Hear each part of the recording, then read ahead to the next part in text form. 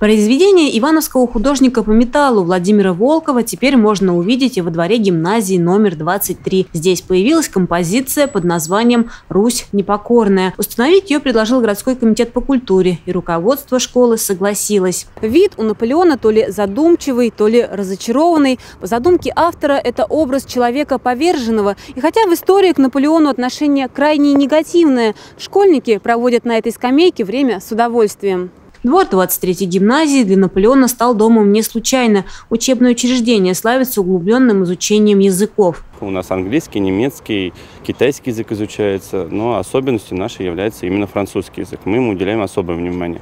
В рамках изучения языка мы частенько встречаемся с э, французами, которые изуч... Э, обучаются у нас в высших учебных заведениях по программе обмена, ну, как бы с носителем языка. Да? А так у нас проходит э, русско-французский обмен. В этом году уже в седьмой раз проходил этот обмен.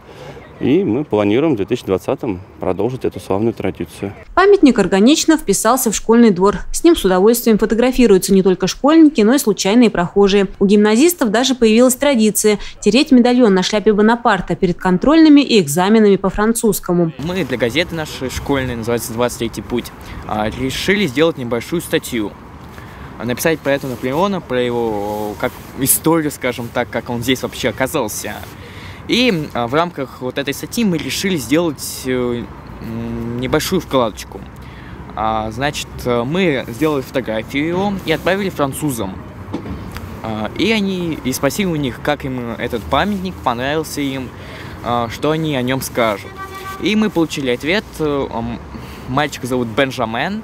Он сказал, что очень хороший подарок, и мы вам завидуем. А позавидовать действительно есть чему. В городе и области Владимир Волков установил уже 35 работ. Принципу «делаю и дарю» он следует уже много лет. Вот эта скульптура «Волк и теленок» знакома всем посетителям 6 детской поликлиники еще с 2011 года. Сейчас в учреждении ремонт, и автор воспользовался возможностью немного обновить композицию. В чем вся сложность вот этого было?